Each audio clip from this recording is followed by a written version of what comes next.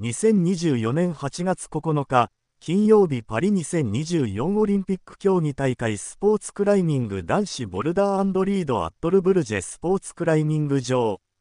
動画、その手で掴んだ銀メダル。安楽空とが日本男子初のメダル獲得。パリオリンピックスポーツクライミング男子複合決勝。パリオリンピックのスポーツクライミング男子ボルダーリード決勝がフランス・パリのルブルジェスポーツクライミング場で行われ、五輪初出場となった17歳の高校生、安楽空とジュソルが、ボルダーとリードの合計145年4月点で日本男子初の銀メダルを獲得した。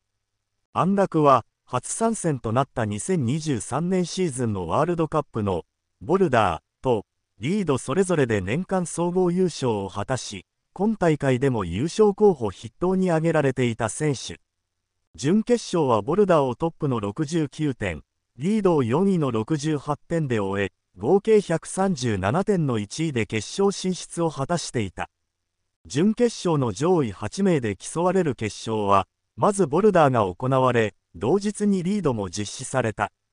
前半のボルダーに8番目に登場した安楽は、第1課題を最初のアテンプトで完登する、一撃でクリア。さらに、第2課題をただ一人完登してた選手とのポイント差を広げる。そして、そこまで一人しか完登した選手がいない第3課題は、パワーが必要だった課題で完登は逃したものの第2ゾーンには到達しポイントを積み重ねる。安楽空と写真、永田洋平、アフロスポーツ。その時点で完登者が1人だった第4課題で第2ゾーンまでたどり着いた安楽は、ボルダーを69.3点の首位で終えた。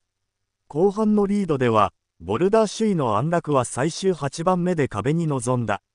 安楽の直前に登場したボルダー3位のトビー・ロバーツ、イギリスが92.1点を獲得し、合計155年2月点として、その時点で首位に立つ。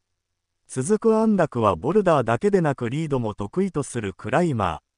安定した上りで順調に課題をクリアし、上部へ。しかし、疲労もあってか最上部にはたどり着けない段階で落下し、76.1点を獲得。ボルダーとリードの合計145年4月点として銀メダル獲得を決めた。あと一歩のところで金メダル逃すも五輪初出場の17歳高校生が日本男子史上初のメダルを手にした。